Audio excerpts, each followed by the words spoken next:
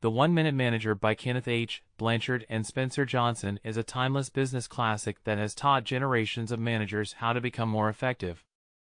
The book is divided into three parts, each of which focuses on a different aspect of management one minute goals, one minute praisings, and one minute reprimands. In the first section, the authors discuss how to set and achieve goals in a minute or less. They stress the importance of setting clear, achievable goals and creating a plan to reach them.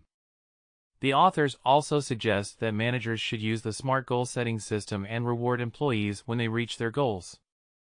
In the second section, the authors discuss how to give effective praise to employees.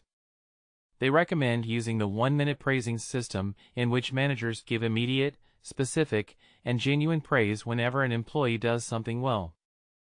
Finally, in the third section, the authors discuss how to effectively reprimand employees without undermining their motivation or morale.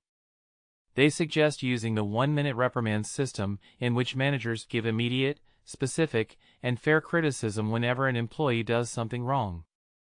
The authors emphasize that the key to successful management is to use the one minute system consistently and to ensure that employees understand the reasons for their praise and criticism. They recommend that managers use the system to establish a positive working environment in which employees feel valued and motivated. That's it. Thank you so much for tuning in.